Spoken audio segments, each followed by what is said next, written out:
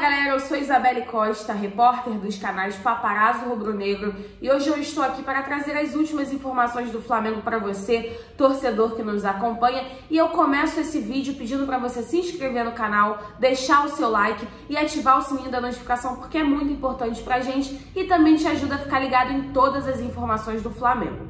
Eu começo esse vídeo falando sobre tre os treinamentos que vem acontecendo no Ninho do Urubu.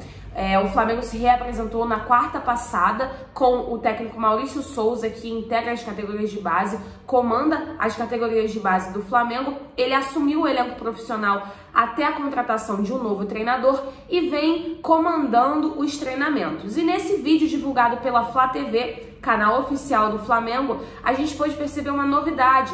O Felipe Luiz e o Rafinha, jogadores que estão lesionados e estão em tratamento, já realizam trabalhos no campo. Ainda sem bola, não, não é junto com o elenco normal, junto com o, o elenco treinando com bola, mas já realizam atividades no campo. Além disso, também tem outras informações, como a, a permanência ainda do Matheus Dantas e do Lucas Silva, que são atletas que estão sendo negociados com outros clubes, mas que continuam treinando no Flamengo. Você vai conferir um trecho dos, do treinamento de ontem do Flamengo.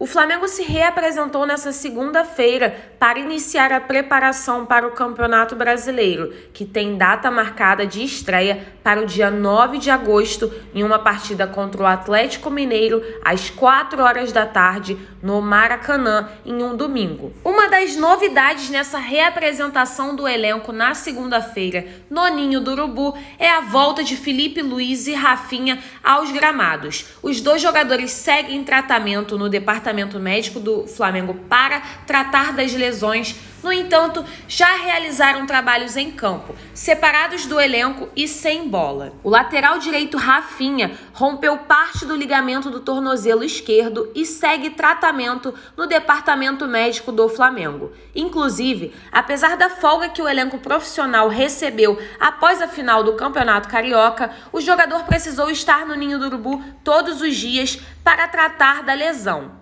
Além dele, Felipe Luiz, lateral esquerdo do Flamengo, também teve uma lesão na panturrilha direita. No entanto, a situação é um pouco mais tranquila do que a do Rafinha, que rompeu parte do ligamento do tornozelo esquerdo.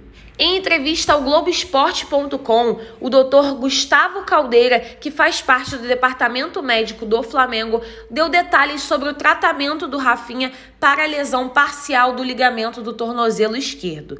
Em entrevista, o doutor afirmou que o Rafinha precisou fazer uma infiltração para melhorar a dor e saber se estava estável ou não no exame físico que foi realizado antes da final contra o Fluminense do Campeonato Carioca. Em entrevista após a final do Campeonato Carioca, o jogador Rafinha revelou que ficou até meia-noite fazendo tratamentos para a lesão. Além disso, ele também destacou que sabia que não estava 100% para a partida, mas que valeu o sacrifício e a entrega para estar em campo. Um detalhe importante que pode ser notado no vídeo divulgado pela Flá TV, canal oficial do clube, é que os jogadores Lucas Silva e Matheus Dantas continuam realizando treinamentos, continuam fazendo parte do elenco, apesar das negociações de clubes portugueses que estão interessados na contratação dos dois jogadores. O elenco profissional do Flamengo se reapresenta nessa terça-feira no Ninho do Urubu para dar continuidade aos treinamentos que estão sendo conduzidos pelo Maurício Souza, técnico das categorias de base do Flamengo. Além disso, o clube estreia no Campeonato Brasileiro no dia 9 de agosto, às 4 horas da tarde, no Maracanã contra o Atlético Mineiro. Então é isso, galera. Não se esquece de se inscrever no canal, deixar o seu like, ativar o sininho da notificação, porque é muito importante e ajuda o crescimento do canal. Não se esquece também que tá rolando um sorteio incrível no canal oficial, no Instagram oficial do canal Paparazzo Rubro Negro. E é muito fácil. O link do, do sorteio tá aqui fixado nos comentários para você participar. É só entrar no link, tá? Você vai estar tá concorrendo a um smartphone, a um manto sagrado e a um conjunto de frio do Flamengo. Você não pode ficar fora dessa, né?